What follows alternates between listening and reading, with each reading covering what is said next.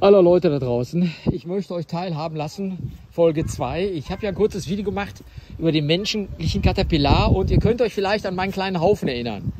Und so sieht es da jetzt aus. Der Haufen ist weg. Wir haben ihn geschreddert. Wie bekloppt. Mit dem Teil, ne? Holen wir gerade die Wurzeln raus. Hier war alles voll. Und wir haben also hier die ganzen Wurzeln rausgezogen, ziehen da hinten jetzt die restlichen Wurzeln raus. Es geht nichts über ordentliches Gerät und eine tolle Familie, die einen hilft. Weil alleine wäre das gar nicht machbar gewesen. Einen kleinen Überblick über die Wurzeln, die der Trecker da schon alle rausgezogen hat. Guckt euch das hier an.